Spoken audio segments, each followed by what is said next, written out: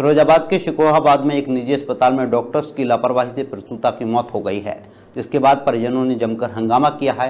हंगामे के दौरान हॉस्पिटल में तोड़फोड़ भी की गई है। साथ ही स्टेशन रोड को जाम किया गया है। वहीं परिजनों ने बताया कि महिला को दो दिन पहले अस्पताल में भर्ती कराया गया था, जिसके चलते उसकी डिलीवरी के दौरान डॉक्टरों की लापरवाही से मौत हो गई। इसके साथ ही परिजनों ने डॉक्टर महिला पर मोटी रकम ऐंठने का भी आरोप लगाया है। इस घटना की जानकारी सीओ कमलेश कुमार को लगी, फोर्स के साथ वो मौके पर पहुँचे। पुलिस मामले की जानकारी में जुटी हुई है। फिरोजाबाद से राकेश वर्मा की रिपोर्ट। ये जो एक हॉस्पिटल है, यहाँ पे तीन दिन पहले एक महिला भर्ती हुई थी, उसकी डिलीवरी हुई थी बच्चे की। तो सीज़न से डिलीवरी हुई थी उसमें जो है आज उस महिला की मृत्यु हो गई है।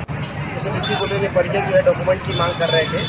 यही विवाद था इसी को लेकर जरा सा छोटा मोटा जो है इन लोगों ने यहाँ पे यहाँ हॉस्पिटल में पेड़ लगा दी थी। तो इस मौके पे आई है जहाँ पे खुलवा दिया गया है और महिला की बॉडी को जो है मोर्चरी भिजवाया गया है। तो दो बजे भर्ती किया था यहाँ पे। जी।